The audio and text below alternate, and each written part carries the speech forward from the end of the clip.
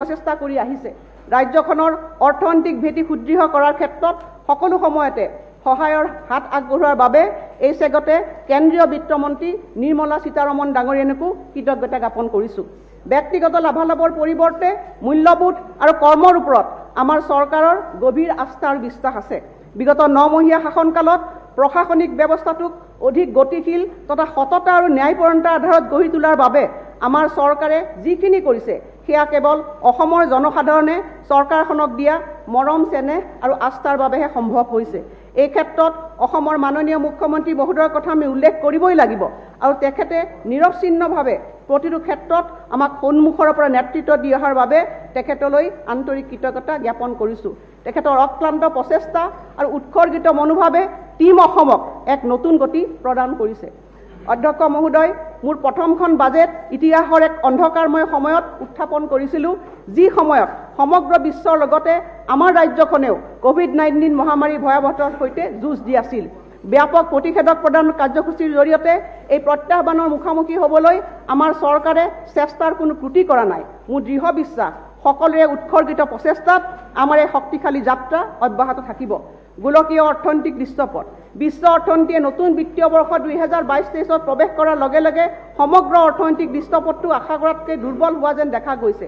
Covid মহামাৰীৰ পৰৱৰ্তী ঢৌসমূহ ইয়াৰ নতুন নতুন প্ৰজাতিৰ আৱিৰ্ভাৱ সম্পৰ্কে আমি সকলোৱে অৱগত আৰু ৰাছিয়া ইউক্ৰেইনৰ মাজত হোৱা যুদ্ধই গোলকীয় যোগান ব্যৱস্থাটোক সম্পূৰ্ণৰূপে ব্যাঘাত জন্মাইছে।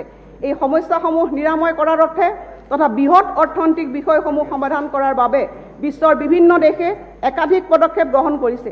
স্বাস্থ্যখণ্ডৰ জটিলতা দূৰ কৰাৰ পৰা অৰ্থনৈতিক বিত্তীয় আৰু অন্যান্য নীতি সম্পৰ্কীয় সংহত পদক্ষেপলৈকে এই কাম কাজবোৰ সম্প্ৰসাৰিত কৰাত প্ৰতিখন দেশে গুৰুত্ব আৰোপ কৰিছে।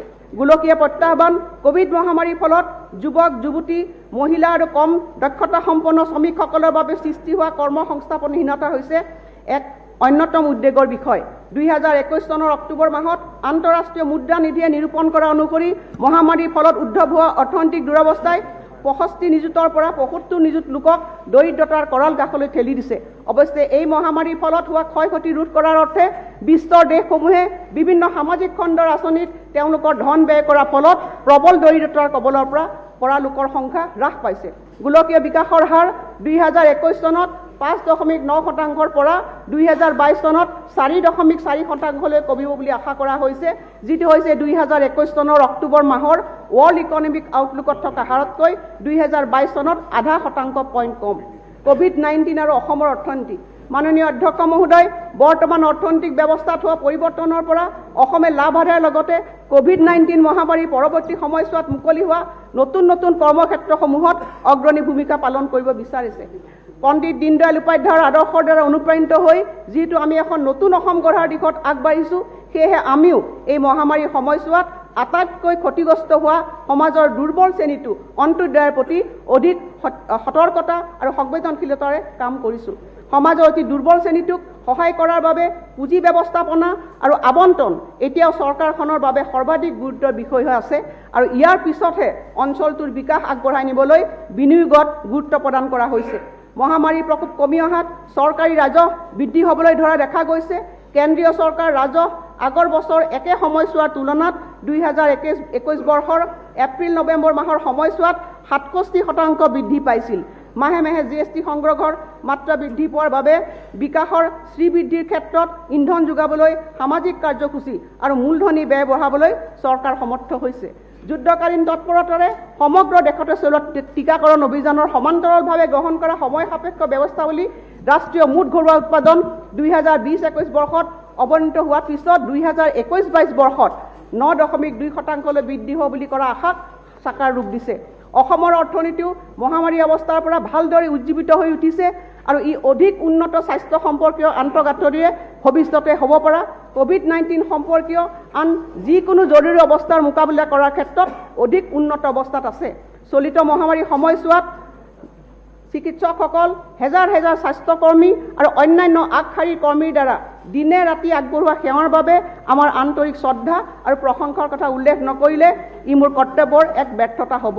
অধ্যক্ষ মহোদয় আমি সকলোৱে জানো যে মানৱ ইতিহাসৰ এটা আটাইতকৈ প্ৰত্যাহ্বানমূলক সময়ৰ মাজেৰে আমি আগবাঢ়িছোঁ। কিন্তু মই দৃঢ়তাৰে কৈছোঁ আমাৰ শ্ৰদ্ধাৰ প্ৰধানমন্ত্ৰীৰ উত্তৰ পূৰ্বাঞ্চলক বিকাশৰ নতুন ইঞ্জিন হিচাপে গঢ়ি তোলাৰ অভিযানৰ দ্বাৰা অনুপ্ৰাণিত আৰু উৎসাহিত হৈ বিভিন্ন মূলধন ভিত্তিক নীতিৰ জৰিয়তে চৰকাৰে উন্নয়নৰ দিশত দ্ৰুত অভিযান চলাব। ৰাজ্যখনৰ অৰ্থনীতিৰ এক অন্যতম প্ৰতিফলন হ'ল মুঠ ৰাজ্যিক ঘৰুৱা উৎপাদন যাক আমি জি এছ ডি পি বুলি কৈছোঁ। দুই হাজাৰ একৈছ বাইছ বৰ্ষত পৰিৱৰ্তনশীল দৰত অসমৰ মুঠ ৰাজ্যিক ঘৰুৱা উৎপাদন চাৰি লাখ তেত্ৰিছ হাজাৰ নশ পঁচিছ কোটি টকা হ'ব বুলি আশা কৰা হৈছে। আৰু ই দুই হাজাৰ বিছ একৈছ বৰ্ষৰ মুঠ ৰাজ্যিক ঘৰুৱা উৎপাদনতকৈ ই তেৰ দশমিক আঠ ন শতাংশ অধিক। কভিড মহামাৰী সংকটৰ সময়ত দুই হাজাৰ ঊনৈছ বিছ আৰু দুই হাজাৰ বিছ একৈছ বৰ্ষত যেতিয়া বহুতো ৰাজ্যই নেতিবাচক বিকাশৰ হাৰ প্ৰদৰ্শন কৰিছিল নিগেটিভ গ্ৰ'থ প্ৰদৰ্শন কৰিছিল অসমেই হৈছে একমাত্ৰ ৰাজ্য যিয়ে ইতিবাচক বিকাশৰ হাৰ পজিটিভ গ্ৰ'থ প্ৰদৰ্শন কৰিবৰ কাৰণে সক্ষম হৈছিল। শেহতীয়া ছটা বছৰত মুঠ ৰাজ্যিক ঘৰুৱা উৎপাদনৰ ধাৰা চলিত দৰত তলত দিয়া তালিকাখনত উল্লেখ কৰা হৈছে। দুই হাজাৰ ষোল্ল সোতৰ বৰ্ষত দুই লাখ চৌৱন্ন হাজাৰ তিনিশ একৈছ আৰু আমাৰ গোটৰ শতাংশ হৈছে এঘাৰ দশমিক পাঁচ ন শতাংশ। সোতৰ ওঠৰত বৃদ্ধি হৈছে দুই হাজাৰ আঠসত্তৰ সাতশ দহ দুই লাখ আঠসত্তৰ হাজাৰ সাতশ দহ আৰু গোটৰ সংখ্যা হৈছে ন দশমিক পাঁচ ন শতাংশ। দুই হাজাৰ ওঠৰ ঊনৈছত ই পাইছেগৈ তিনি লাখ ন হাজাৰ তিনিশ ছয়ত্ৰিছ আৰু ইয়াৰ শতাংশ হৈছে দহ দশমিক ন ন দুই হাজাৰ ঊনৈছ বিছত তিনি লাখ সাতসত্তৰ হাজাৰ চাৰিশ পাঁচ আৰু শতাংশৰ পৰিৱৰ্তন হৈছে বাইছ। দুই হাজাৰ বিছ একৈছ যিহেতু ক'ভিডৰ বৰ্ষ আছিল এই বৰ্ষটোত আমাৰ তিনি লাখ একাশী হাজাৰ চাৰি আৰু আমি শতাংশৰ হাত পাইছোঁ গতিকে আমি পজিটিভ শতাংশ যিটো পইণ্ট নাইন পাৰ্চেণ্ট আৰু দুই হাজাৰ একৈছ বাইছ বৰ্ষত চাৰি লাখ তেত্ৰিছ হাজাৰ নশ পঁচিছ যাৰ জৰিয়তে আমাৰ গোটৰ সংখ্যা হৈছেগৈ তেৰ দশমিক আঠ ন শতাংশ। অধ্যক্ষ মহোদয় ক'ভিড মহামাৰী স্বত্তেও দুই হাজাৰ বিছ একৈছ আৰু একৈছ বাইছ বৰ্ষত প্ৰচুৰ বিকাশ লাভ কৰা কেইখনমান ৰাজ্যৰ ভিতৰত আমাৰ অসমো এখন।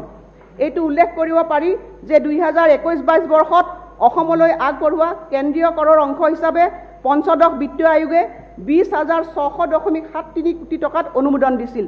অৱশ্যে এই অংশৰ বাবদ ৰাজ্যসমূহে পাবলগীয়া ধন কিছু কম পোৱাৰ পৰিপ্ৰেক্ষিতত সৃষ্টি হোৱা বকেটা বকেয়া পুঁজি প্ৰদানৰ বিষয়টো নিষ্পত্তি কৰাৰ অন্তত ভাৰত চৰকাৰে পুনৰ দুই হাজাৰ একৈছ বাইছৰ সময়ছোৱাত পঁচিছ হাজাৰ এশ ছেসত্তৰ দশমিক তিনি ন কোটি টকা আমাৰ ৰাজ্যখনলৈ মোকলাই দিছে।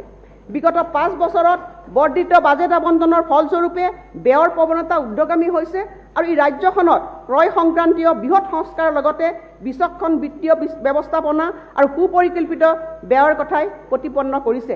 ৰাজ্যখনৰ সামগ্ৰিক ব্যয় দুহেজাৰ পোন্ধৰ ষোল্ল বৰ্ষৰ তেষষ্ঠি শতাংশৰ পৰা দুহেজাৰ ঊনৈছ বিছ বৰ্ষত উল্লেখনীয়ভাৱে তিৰাশী শতাংশলৈ বৃদ্ধি পাইছে আৰু আনহাতে মূলধনী ব্যয়ো দুহেজাৰ পোন্ধৰ ষোল্ল বৰ্ষৰ চাৰি হাজাৰ নশ ঊনৈছ কোটি টকাৰ পৰা দুহেজাৰ বিছ একৈছ বৰ্ষত চৈধ্য হাজাৰ ছশ ত্ৰিছ কোটি টকালৈ বৃদ্ধি পাইছে।